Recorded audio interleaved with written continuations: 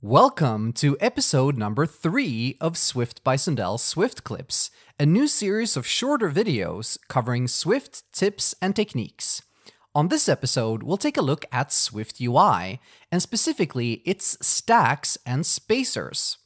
Those are two of the core building blocks within the Swift UI layout system, and they let us build flexible and adaptive layouts without doing any form of manual frame calculations. Stacks enable us to arrange our views linearly. We can do it horizontally, vertically, or along the z-axis. And spacers enable us to create white space between views, which enables us to position our views within each stack. Now, those two concepts might seem really simple, but they can take a while to fully grasp, and they can also be really powerful when combined and can let us achieve a nearly infinite number of different layouts. Let's dive right in by taking a look at a very simple SwiftUI view. This one simply renders a text as its body, which gets displayed at the center of the screen. Now, this is already a very interesting difference compared to SwiftUI's predecessors, UIKit and AppKit, which would instead render such a view at the origin of their coordinate system.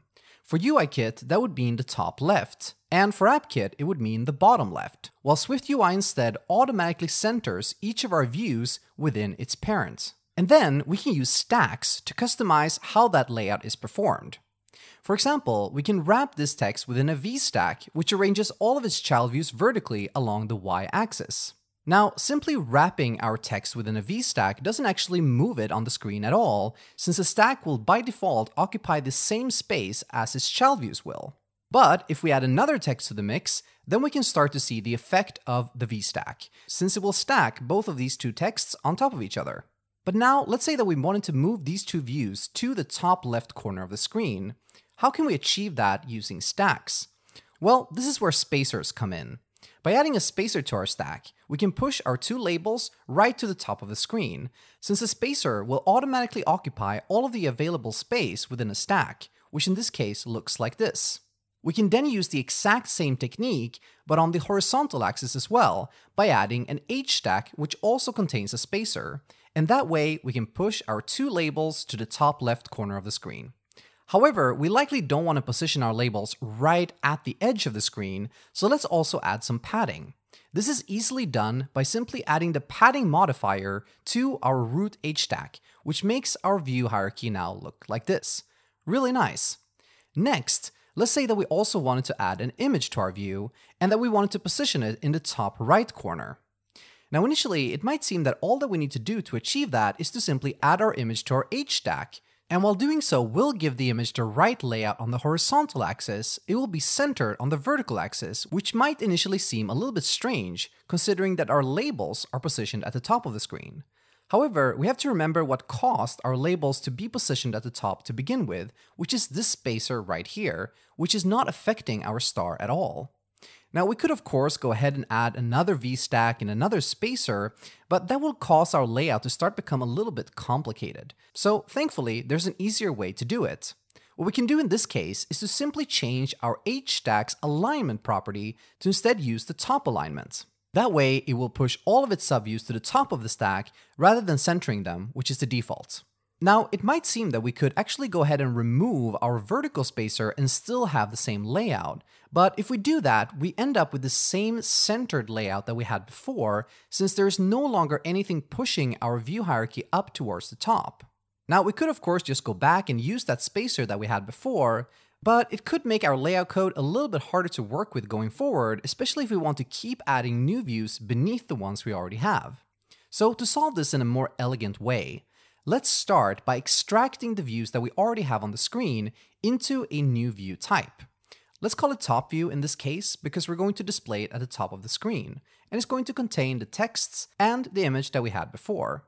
With that in place, we can now go back to our content view and simplify things a lot.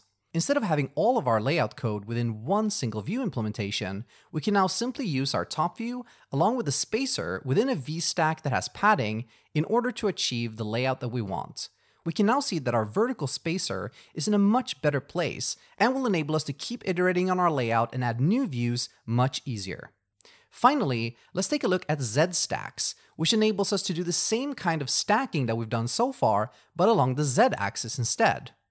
What this essentially means in practice is that Z-stacks enable us to create new layers within our view hierarchy that get rendered on top of each other. For example, here we're adding a new text that gets centered on the screen just like before, without affecting or being affected by the layout of our other views. Now Z-stacks also give us a lot more control when it comes to how we position our views on the screen. Instead of just being limited to either the horizontal or vertical axis, we have full two-dimensional control of our alignment.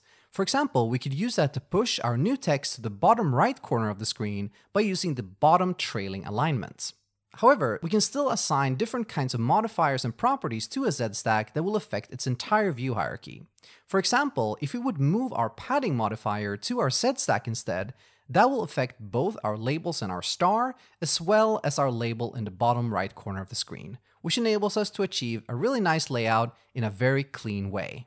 That's a quick look at stacks and spacers in SwiftUI and how they can let us achieve really flexible layouts using very little code. You can find all of the code samples from this video at swiftbysundell.com slash clips slash 3. If you'd like to see more videos like this, then please let me know by subscribing to this channel. And you can also find Swift by Sundell on Twitter at Swift by Sundell. Thanks a lot for watching.